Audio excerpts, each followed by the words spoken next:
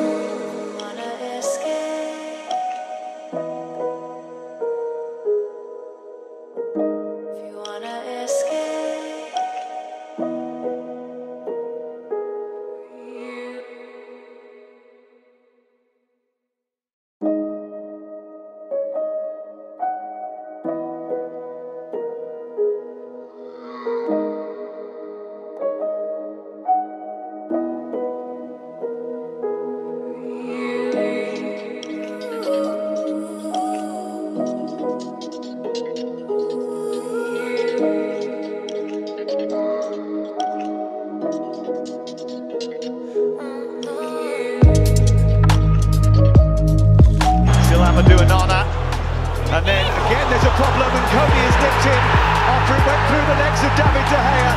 But in rather comical circumstances, Everton are level. Well, I can't believe what I'm seeing. David De Gea has had an absolute nightmare there. I'm not sure where he thinks the ball's going. Put it through.